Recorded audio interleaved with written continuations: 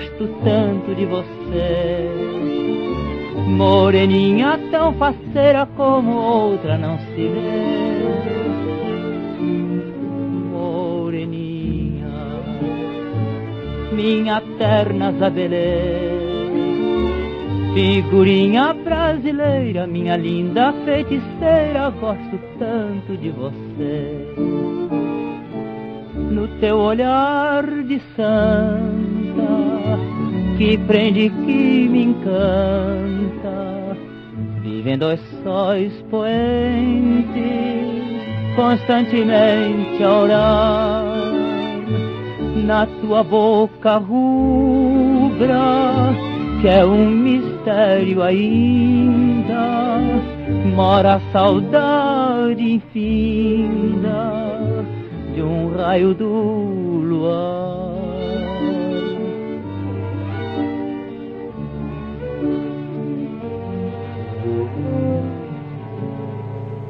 Moreninha, gosto tanto de você. Bravo! Bravo! Interessante cena. Certo que um pouco desonrosa fora para cá estudante de medicina. E já no sexto ano. Ah, não vale o adágio antigo. O hábito não faz um monge, não é?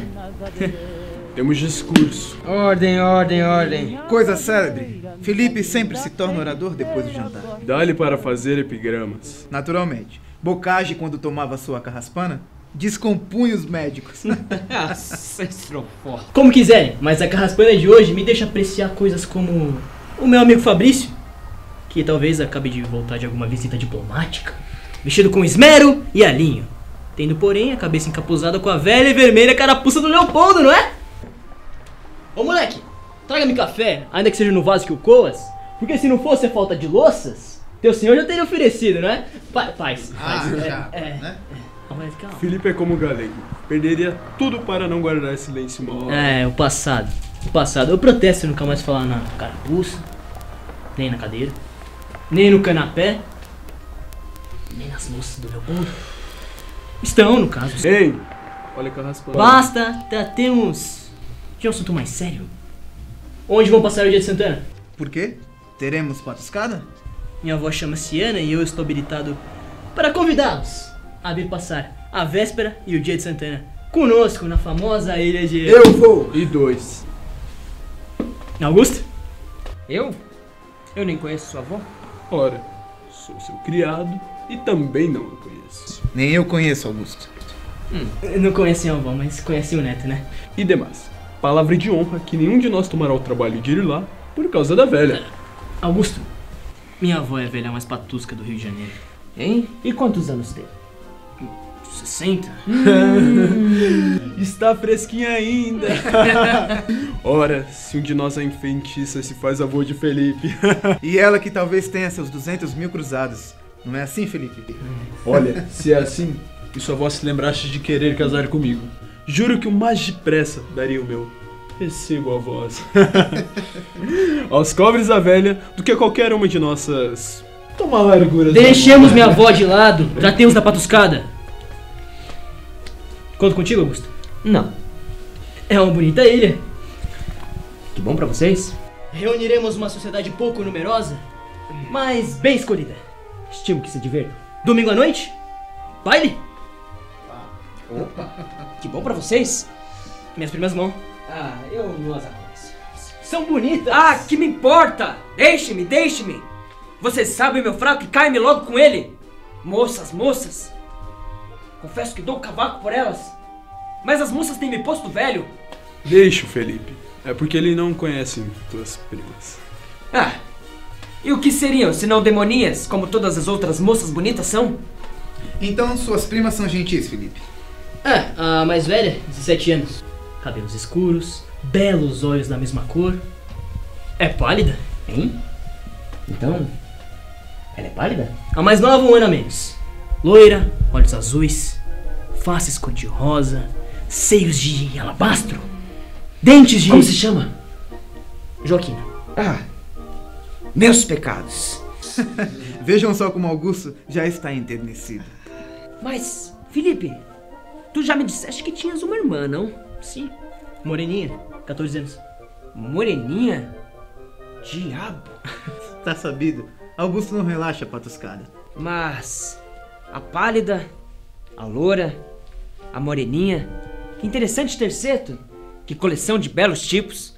Primeiro, uma jovem de 17 anos, pálida, romântica e, portanto, sublime.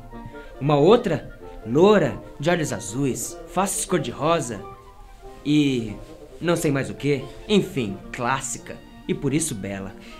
Uma terceira, por último, 14 anos, moreninha, que romântica ou clássica, prosaica ou poética, ingênua ou misteriosa, tende por força ser interessante, engraçada e travessa.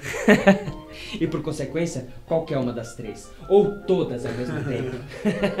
Muito capazes de fazer de minha alma peteca, de meu coração pitorra.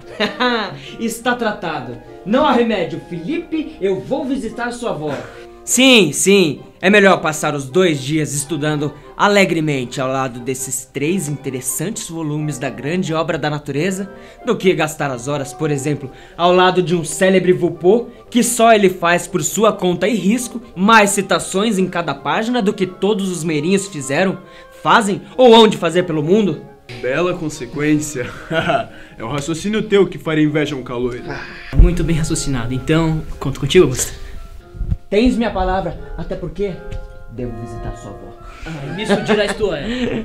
Mas vocês não repararam como Fabrício ficou tão amuado e pensativo? Depois que se falou nas tuas primas, Felipe? Disseram-me que ele anda enrabixado por minha prima Joaninha, não é? A pálida? pois eu já vou me dispor a fazer meu pé de alferes com a loura? E tu, Augusto? Querás porventura requestar minha irmã?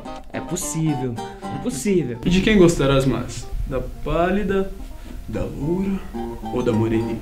Ah, creio que gostarei principalmente de todas. Ei lá com a sua mania. Augusto é incorrigível. Não, é romântico. Nenhuma coisa nem outra, Fabrício. É um grandíssimo de um velhaco. Não diz o que sente, não sente o que diz. Ah, o que quiserem, o que quiserem. Serei incorrigível, romântico ou velhaco. Não digo o que sinto, não sinto o que digo, ou ao mesmo digo o que não sinto. Sou, enfim, mau e perigoso. E vocês, meus caros amigos, inocentes e anjinhos. Todavia eu a ninguém escondo os sentimentos que ainda há pouco mostrei. E até porque, confesso que sou volúvel, inconstante, incapaz de amar três dias um mesmo objeto. Verdade seja que não há nada mais fácil do que me ouvirem um eu vos amo. Mas a nenhuma pedi que me desse fé, muito pelo contrário. Falo a todas como sou, e por consequência de tal, são tão vaidosas que se suponham inesquecíveis. A culpa certo que não é minha. Eis o que sou. E vocês, meus caros amigos, que blasonais de firmeza de rochedo, vós jurais amor eterno cem vezes por ano a cem diversas belezas? Vós sois tanto ou ainda mais inconstantes do que eu, mas entre nós há sempre uma grande diferença.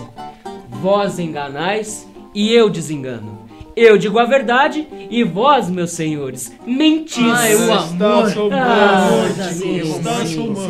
A alma que Deus me deu é sensível demais para reter por muito tempo uma mesma impressão. sou inconstante, mas sou feliz na minha inconstância. Porque apaixonando-me tantas vezes, não chego a amar uma vez só. Que horror. Agora é horror. Primeiro era amor, agora é horror. Ah? Tá muito frio Meu. Deus. Este sentimento que voto às vezes a dez jovens num só dia, às vezes numa só hora, não é amor, certamente. Por minha vida, interessantes senhores, meus pensamentos nunca têm dama, porque sempre tem damas. Eu nunca amei, eu não amo ainda e não amarei Ah, jamais. ah, ah, ah, aposto que segunda-feira voltarás da ilha de Paquetá, loucamente apaixonado por uma de minhas primas. Assevero que não. Assevero que sim!